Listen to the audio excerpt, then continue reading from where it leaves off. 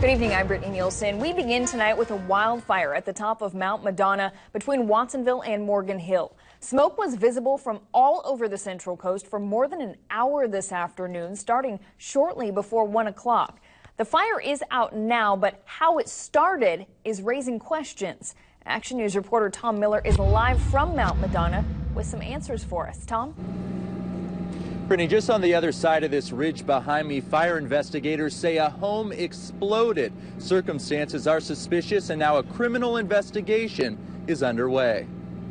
This is as close as our cameras are allowed to get to the blaze as firefighters warn of toxic chemicals burning off into the air.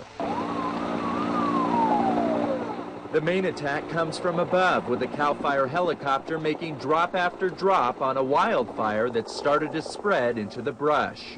There's a lot of knobcone pine, and it's very, very dense vegetation. So the helicopter helped knock the seed of the fire out. Firefighters are the only ones allowed in following an explosion at a home here. Off camera, concerned neighbors say drugs are being made inside the home though first responders aren't willing to speculate. The scene's too, still too hot. We'll check into it, see what we can find. Uh, but right now it's undetermined on what caused the explosion, but it's very obvious that there was an explosion. More than 40 firefighters from Santa Cruz, San Benito, and Santa Clara counties worked for over an hour to completely put out the flames.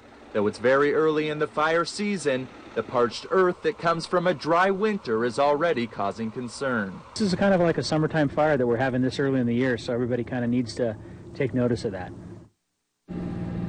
And no one was inside the home when it exploded. Meanwhile, Santa Clara County Sheriff's deputies have been in and out of the, in and out of the area all day. We're told they're going to go through the ruins to look for any traces of drugs once firefighters give the all clear. Brittany. All right, Tom, thank you very much. Now, this fire started in the same area where the costly Croy fire destroyed 31 homes and charred more than 3,000 acres back in 2002.